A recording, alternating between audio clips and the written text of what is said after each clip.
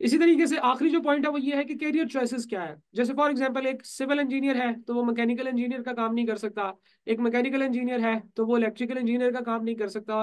And then they want they need each other ठीक है जी बट चार्टर्ड अकाउंटेंसी की फ़ील्ड इतनी वाइड है, इसमें आपको इतना एक्सपर्ट बना दिया जाता है कि आप बैंकिंग का सेक्टर हो एनर्जी सेक्टर हो इंफॉर्मेशन सेक्टर हो information technology education consumer sector agriculture telecom यानी कि जहाँ पे पैसे की बात हो रही है, जहाँ पे पैसे का लेन देन है, जहाँ पे पैसे की वैल्यू है chartered accountant is needed there chartered accountant जैसे जैसे मुश्किल और कॉम्प्लेक्स चीज़ें होती जाएगी, उनकी वैल्यू इतनी ज़्यादा होती जाएगी, और जब वैल्यू ज़्यादा होगी तो आपको पता है कि उसका पे आउट भी बेहतर होगा।